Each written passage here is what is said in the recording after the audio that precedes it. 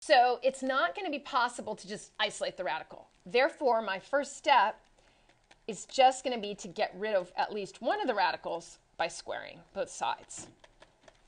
So I'm going to go ahead and square both sides.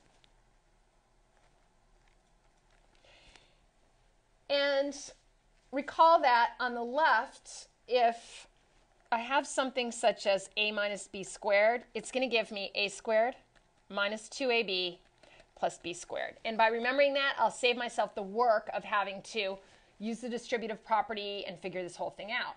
I'm just going to go ahead and say, okay, um, a equals the square root of x plus 21, and b equals 2.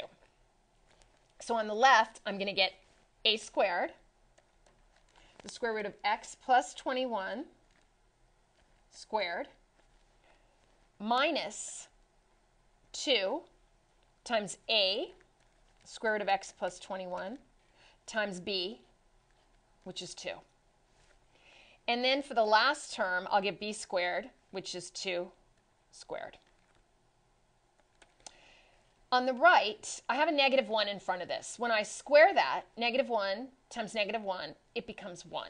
So I'm going to end up with a positive expression on the right. And the square root of x plus 5 squared, since the index is the same as the power, this becomes the radicand. So on the right, I end up with x plus 5.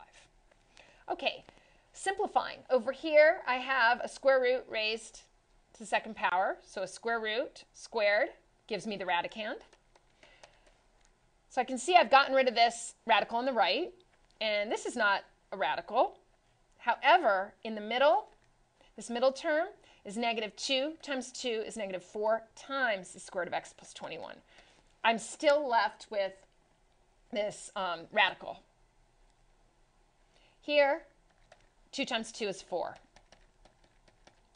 Simplify before we proceed.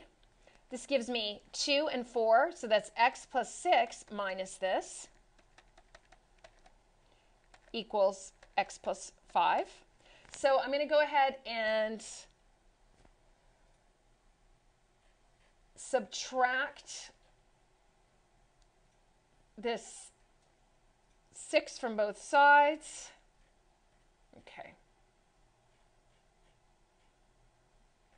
This is actually 21. Okay, so go ahead and uh, simplify this. This is 21 plus 4 is actually going to be 25. So x plus 21, square root of that squared, gives me x plus 21. So that is 25 right here. 21 plus 4 is 25. Okay, simplifying by subtracting 25 from both sides. 5 minus 25 is negative 20. In the next step, I would subtract x from each side. So when I do that, I get x minus x. The x drops out of the left. When I take x minus x, the x also drops out of the right side. Okay, now I've gotten rid of this radical on the right. On the left, I have a radical, but I also have a negative 4 in front of it. So I need to isolate the radical by dividing both sides by negative 4. So this gives me negative 20 divided by negative 4 on the right. So the square root of x plus 21 equals 5. Since I still have a radical left, I have to go through this process again. So let's take this up here and repeat the process of squaring both sides.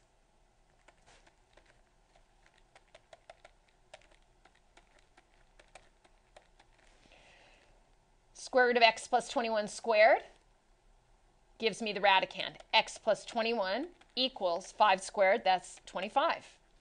Subtracting 21 from both sides gives me 4. Okay, so I came up with this solution that x equals 4, and I need to check that in the original. So check by inserting 4 for each x in the original. That's going to give me 4 plus 21, square root of 4 plus 21 minus 2 equals negative, and then that's the square root of 4 plus 5. This gives me the square root of 25 minus 2 equals minus square root of 9. Square root of 25 is 5 minus 2 equals minus square root of 9, which is 3. So that gives me negative 3. This is 5 minus 2 equals 3. This is not true. Not true. Therefore, the solution is not valid. This solution x equals 4 is not valid. Now, I said that when you use this method, if there is a valid solution, it, you'll come up with it. You might have some extra solutions, but you'll have the valid solution if it exists. What this tells me, since this is not valid, is that there is no solution. There's no valid solution here. So this was a pretty complex problem. There were two radicals, so we had to square to get rid of the radical on the right, do a bunch of simplifying, isolate the remaining radical, which is on the left, repeat the process with that by squaring both sides to come up with x equals 4. And then after all that work, we went and checked it and found that x equals 4 does not satisfy this equation, that when we use that, we end up with 3 equals negative 3. Had that negative not been there, this would have been, we could have come up with a valid solution. But with that negative in the original, the solution was not valid. Therefore, there is no solution to this radical equation. That concludes this lesson on radical equations and inequalities.